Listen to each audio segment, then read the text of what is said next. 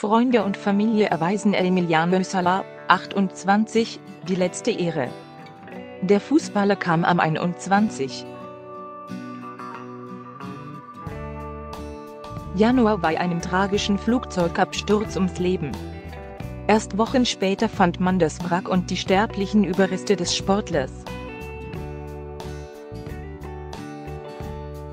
Am vergangenen Freitag wurde sein Sarg nach Buenos Aires überführt, damit am heutigen Samstag eine Totenwache für den Profikicker in seiner Heimat abgehalten werden kann. Danach soll Emiliano eingeäschert werden wie Bild berichtet, wurde der Sarg des Verstorbenen in der Sporthalle des argentinischen Vereins San Martín de Progreso, bei dem Emiliano seine Karriere als Jugendlicher begonnen hatte, aufgebahrt. Die rund 3000 Einwohner des Ortes Progreso können so Abschied vom 28-Jährigen nehmen. Das ist ein trauriger Tag für Progreso. Wir hätten uns das nie vorstellen können, wir stehen noch alle unter Schock, erklärte Daniel Reberle, der Präsident des Vereins.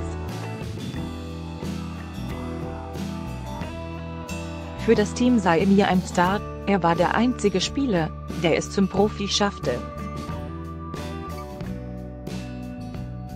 Neben den Anwohnern reiste auch Sälas ehemaliger Teamkollege Nicolas Paul-Luis vom FC Nantes, dem Verein, für den er in den vergangenen Jahren gespielt hatte, für die Trauerfeier an. Neil Warnock, der Trainer von Cardiff City, dem Club, zu dem Salah nun wechseln sollte, war ebenfalls vor Ort. Am späten Nachmittag, Ortszeit, soll dann die Beerdigung im argentinischen Santa Fe stattfinden.